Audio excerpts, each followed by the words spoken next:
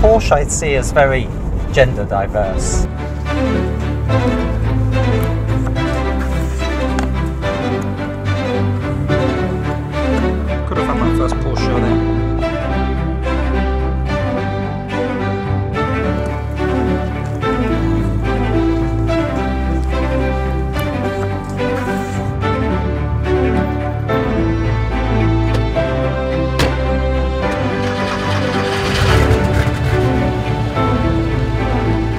When I was going out in the evening as Antonia, I did go out in my Porsches, yes.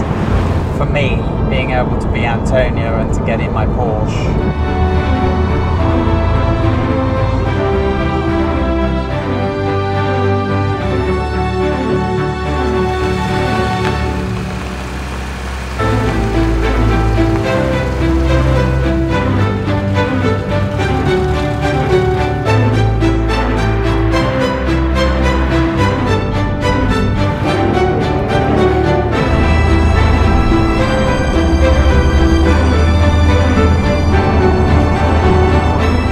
I bought more cars, more Porsche cars as a woman than I ever bought as a man.